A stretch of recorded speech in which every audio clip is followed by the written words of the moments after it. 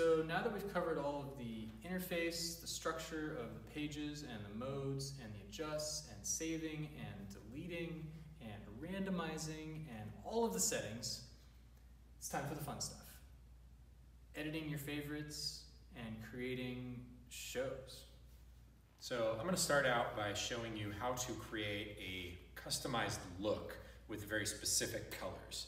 Uh, this might be the kind of thing that you'll use if you have a client that uh, and their company has very specific branding and they want you to have the colors of their company, for example. Or maybe you just have three colors that you really like and you want to choose your favorite colors. So that's going to be a little different because randomizing is like a dice throw. You don't know what you're going to get. You're just going to get different colors. Uh, so we're going to use a different technique to create this look so that we can choose very specific colors. I'm going to use page 2 mode 3 to demonstrate this because it's a really obvious mode. Uh, page 2, two quick clicks. Page 3, or page 2 mode 3. Uh, this mode is love and it's just a solid color with the white points and when I adjust it, its adjust cycle is simply hue shift. It's going to change colors as I adjust. But I don't need to worry about adjusting anything yet because I'm going to adjust this in my favorites. So I'm going to start by saving this. Press and hold. It's going to fade off first time. It's going to fade off the second time. It's going to come back on and everything's going to blink indicating that I just saved it to favorites. Now I'm going to navigate to page four. One, two, three, four. Of course, this mode comes up again. This one blinked, letting me know I was in page four. Now I'm going to go through and select my favorite colors. To do so, I'm going to adjust while in page four. And when I save it in page four, it will save the adjustment locally only to the one club that I'm actually saving on. Uh, so I'm going to enter adjust. And when I see, let's say, I'm gonna want purple. Boom, selected purple. I save this purple. You'll notice all the other ones also look purple. Uh, that's just because the adjust feature still works while you're in favorites. But when I save it, or when, when it actually saved and I release the button, they didn't blink, indicating that this club is the only one that that purple color saved to.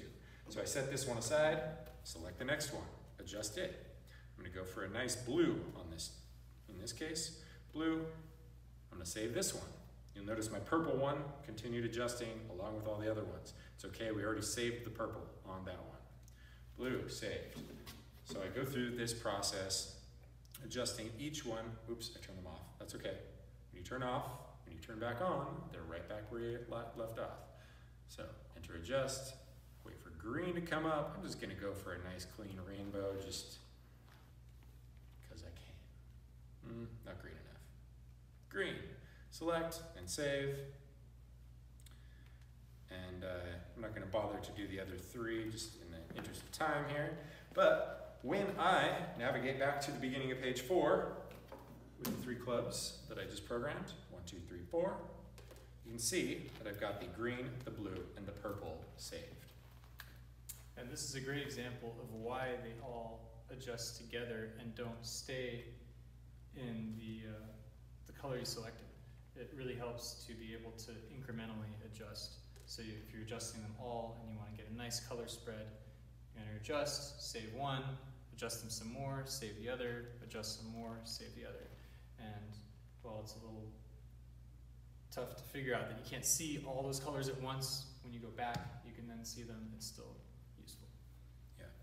There actually is a even more advanced way of saving uh, where you can unpair the clubs from each other so that the radio is off and you can actually do them individually so you can see the colors one by one. It just takes even longer. Um, but it can be more meticulous if you are that picky. Um, we're not going to go through that process. If you do need to do that, that is, at this point you'll be able to figure it out. In a way, it's kind of the simplest way to adjust, to create looks. And also, if you want them to be actually different modes, say you want one to be fire and one to be water, then you want to actually delete your grouping so that they're disconnected, and then you can individually go through. And as long as you're saving them to the same slot and favorites, you can save whatever you want to mode one in each of them. Once you group them back together, they're going to display whatever their individual mode ones were, whether it's different colors of the same mode or different modes entirely. Yeah. That's the only way you could save different modes entirely, is by having the radio off when you save it. Solo off, Oh, solo, solo off. on. Solo on would You can also Yeah. do that, but then you can't see them all at the same time. But you could turn them all off and then just solo on one and save things individually. So now we've got a few different modes in my favorites. I've got this one I just created. After that, I've got a fire mode that we did much earlier. And after that, we've got the red indicator telling me I'm at the end of my favorites. And following that is, of course, the autoplay. Uh, we want to run through a few features of the favorites page that allow you to modify your favorites page in order to help with show creation. Uh, the first feature I want to show you is simply duplicating a favorite. So uh, page four, one, two, three, four, and let's say I want I want to have a couple modes with different color schemes in in a case like this. So uh, now that I've nav- re-navigated to this mode, I didn't just adjust it. Like if I had just adjusted it, I would need to uh, go back to it again by going page four and then finding this mode again. I want to do it from uh, recently adjusted. Now, if I save, it will simply duplicate it and add the same color scheme to the beginning of page four. So saving any mode that hasn't been adjusted, saving an unadjusted mode in favorites will duplicate that mode to mode one. So no matter what mode you're in in favorites, you could be in mode 53. And if you save that, it will create a copy of that mode in favorites mode one, which you can also use to rearrange your favorites, to reorganize them. So if your favorites are not in the order you want, you can just go through to the ones you want and save them Yeah. that way. So like the fire mode too, I, this is the last mode in my favorites. If I want this mode first instead, I can save it and it'll save a copy of it. And if you want, you could go back and delete the other copy to remove it from your favorites. So now I go back to the beginning of page four, one, two, three, four, and there's the fire mode that I just copied to the beginning. There's the first version of the color scheme that we created. There's the second version of the color scheme we created, and there's the fire mode again. I don't need two of the same fire mode. I'm gonna delete this one, John. All right. So press and hold, it fades off, it fades off again, turns back on. If I let go right now, then I'm gonna duplicate it again. I wanna delete this thing, so I keep holding until it starts flashing red and hold it until it stops flashing red. There's no way you're accidentally deleting anything. Yeah. right. Uh, and so now when I go back through my favorites again, one, two, three, four, you can see there's the fire from the beginning, there's color scheme number one, color scheme number two, and the second fire mode is gone. Forever. I can't undo that. And I don't know if we covered this already, but this uh, default red mode is a great landmark to know that you've gotten to the end of your favorites, and your next mode will be favorites autoplay, which if you delete, will delete all of your favorites. It's a nice way of getting a clean slate. Yeah, that's the favorites autoplay. Uh, you can delete this if you don't want it in your show. Uh, Especially if you're using autoplay for your show, um, you are probably going to want to delete this mode. Yeah. And then you've lost that as a landmark, so you just got to remember whatever your other last mode of favorites is. Right. And then if you delete your favorites by deleting your autoplay, this mode will reappear. This is like the default placeholder in page four, page eight, mm-hmm. and page nine, your other show pages. So let's talk about show pages. To Yeah. create a show page, you save favorites autoplay. Yeah. If you save favorites autoplay, you can't save favorites autoplay to favorites because that would cause a rift in the space-time continuum. But you can save it to a show page, and you can save a show page autoplay to your favorites. So you can create uh, your favorites autoplay that way. So you can't. There's no real reasonable single button interface for saving a specific mode to a specific page. So you can't save a mode to a show page, but you can build your show, dial it in in your favorites page, and then when you save favorites autoplay, it creates a show page in page 8. If you do that again, it bumps that up to show page 9 and creates a new show page 8. So you have two show pages. If you did it a third time, page your show page nine would get kicked off and disappeared. Kind of like your 60th favorite. If you've saved more than 60 favorites, the last one gets bumped and the new ones take their place. So I'm gonna save this small collection of favorites uh, to page eight as my show. It's not a very good show, but hey. Um, so I navigate through my favorites. I hit the red one. I know I'm getting close to my show, uh, or I, I know I'm getting close to my autoplay. So next one I know is autoplay. I'll just let it change once so you can see that. I'm in fire and boom, now it changes to the color scheme. So I save this, press and hold, same, same saving procedure as everything else. Fades off, comes back on, and boom. Um, and so now it's still in autoplay, but when That's I jump, yeah, That was a confusing indicator. Because it's an autoplay, it's still changing mode while Yeah. you're holding. it's, uh, It gets me. yeah, it stopped me for a second too. Yeah. Um, so I go now to page eight, which of course eight presses one, two, three, four, five, six, seven, eight, and that there's my show. I can cycle through it just like my favorites. I can even delete modes from it just like my favorites. Um, the one thing I can't do is add any more modes to it. And there's a special case here for the saving, uh, saving within a show page does not actually duplicate to show page mode one. It duplicates it to favorites page mode one. Yeah. And this enables you to kind of keep banks of special dialed in looks and modes in your show pages, and you can still use them for building a show within favorites and for dialing in and editing the show. It's, it's easier to edit a show within favorites, but you can make edits within the show page by doing uh, adjusted saves. Yeah, for example, right now I'm still at page eight, and uh, let's say I want to make, I want to, you know, add some other colors here. I can still adjust these. Um, let's, we'll wait until it gets past green. We'll go for like a yellow or something like that. And uh, and when I save it, it will just edit the uh, the existing mode on page eight, and that's the only place it will edit it. Yellow, got it. All right, so I'll save that one and we'll see how that changes the whole look of my page eight favorite. One, two, three, four, five, six, seven, eight. Nope, that was nine. One, two, three, four, five, six, seven, eight. There we go, there's the fire. Second mode, there's that yellow that I just saved, so we added an extra color to it. Where I move to the next one, that's the duplicate that I created previously.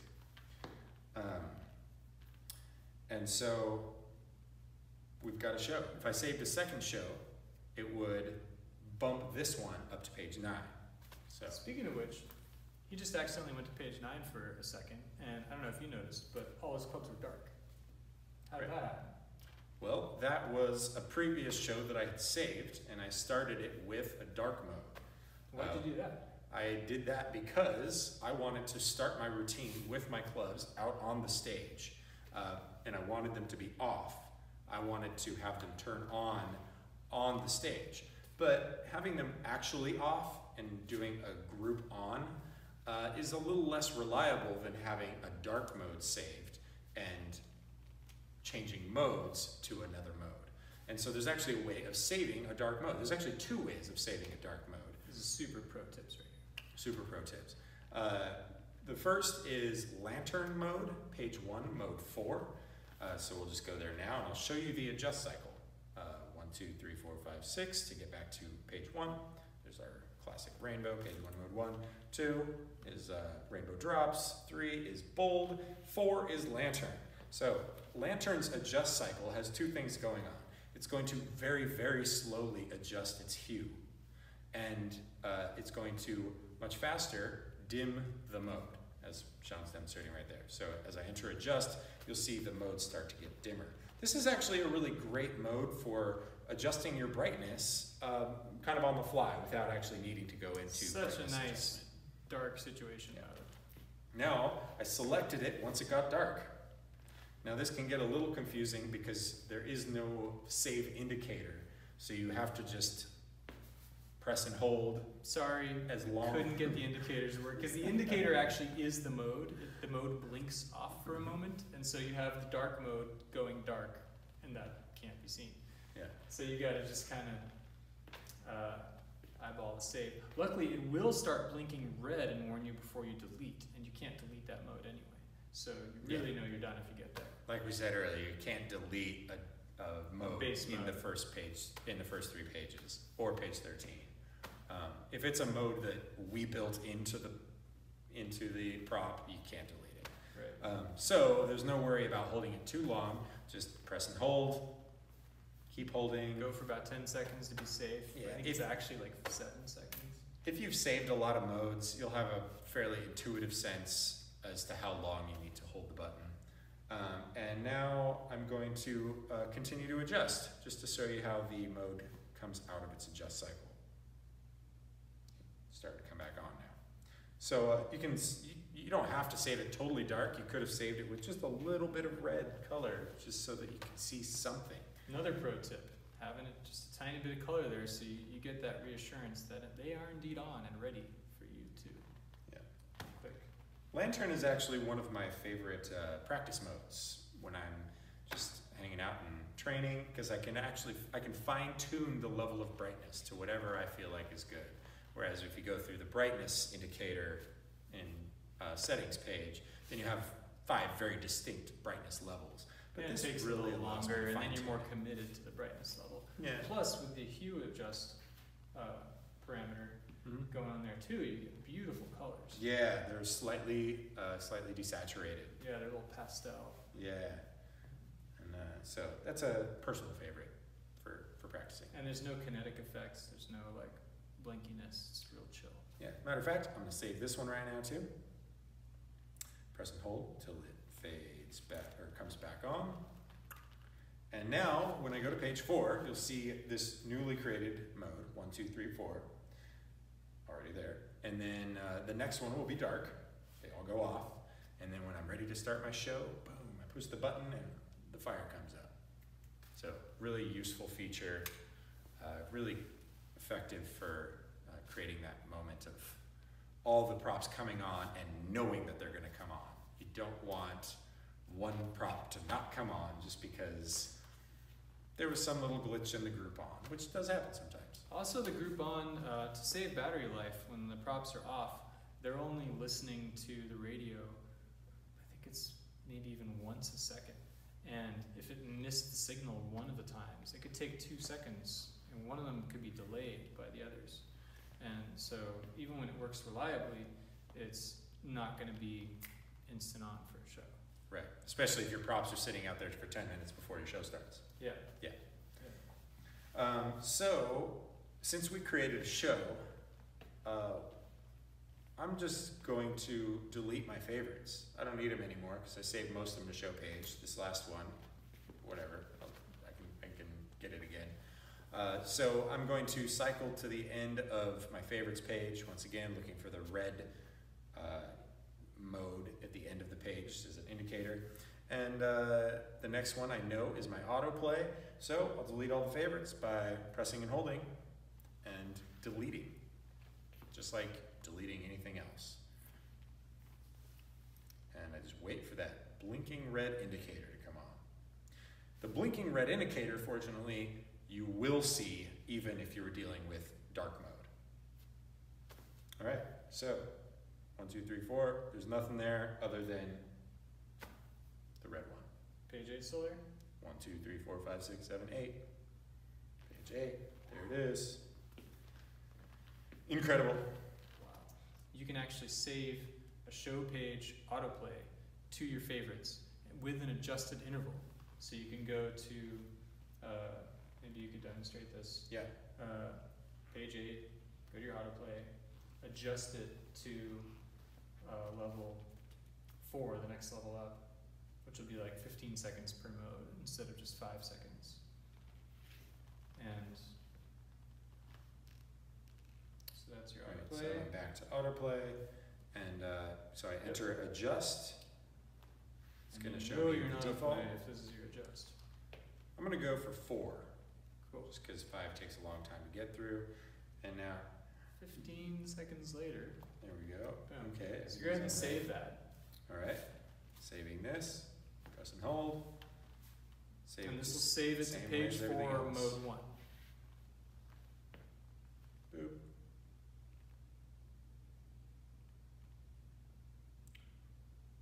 One, two, three, four. Cool. All right. So These are some of You the can newest, also- most experimental features. Uh, and so sometimes if we look at each other weird, yeah, it's because something maybe, we're bug checking right yeah, now. we're bug checking at the same time. Does it actually work the way we expect? Uh, and this, like any other mode in page four, you can edit. So you could actually go in and adjust the interval if you decide you want to change that. You would have to do save it individually. Um, if you did that, uh, you could also duplicate it. And interestingly, you might think, well, what happens if I edit my show page that this autoplay is doing? This autoplay is a reference to that show page. So if you edit that show page, that will be reflected in this instance of it in page four. And if you delete it, it will disappear from page four. It will also be. Um, I think that just about covers it with show pages. We're excited to see how other people can take advantage of some of these features because I'm sure there's things we haven't even thought of. Oh, you know what Brian does with them is uh, so using autoplay. Autoplay is in five second intervals or one second intervals at the smallest. If you want to create a show to music, you can actually create a show and and start your autoplay at the beginning of a song, and you can arrange it. Uh, if if you duplicate a mode, save it multiple times in a row, so you get a resolution of one second or five second uh, chunks that you can use to create a show to a song where you can hit cues pretty much on cue. Um, they're not going to be exact because you only have, say, one second resolution. So you could save the same mode uh, 10 times in a row to get you 10 seconds into a song. Or if you're doing it in five second increments, save it three times in a row to get you 15 seconds. And it won't look like that mode is restarting every time. It actually plays continuously. So if you have a mode that's changing color slowly and you've saved it to multiple slots uh, in a row, it'll just continuously play, which is nice. And then you can add uh, modes that are very kinetically responsive right before a cue. So the mode will change right before a musical cue, and people aren't really going to notice the mode change so much uh, until you do a movement with it. So if you do the movement on cue, that triggers that kinetic response, then it looks like, you know, it did a thing on cue. Right. I probably don't have the patience for what Brian did, but I can tell you that I would use that feature uh, for as sort of a, a casual show of sorts, or maybe if I'm doing a strolling act. I don't think that 30 seconds, the max interval for the autoplay, is really enough in my opinion. I prefer like a minute, minute and a half, maybe two minutes even per mode.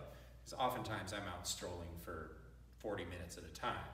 And, uh, and so that gives me enough time to really take advantage of the mode, get familiar with the mode again, and utilize the kinetic features that the modes have.